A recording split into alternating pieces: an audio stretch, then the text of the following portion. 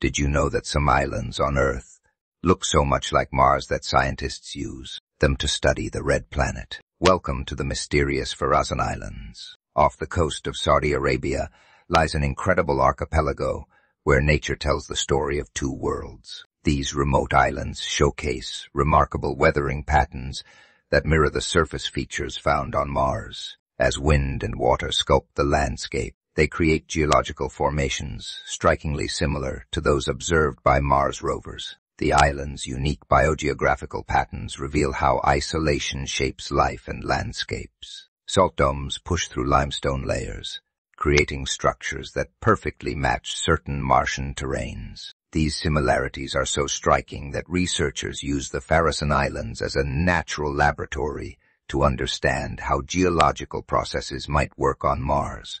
Could studying these earthly islands help us unlock the secrets of Mars' past? Share your thoughts if you think Earth holds more clues to understanding other planets.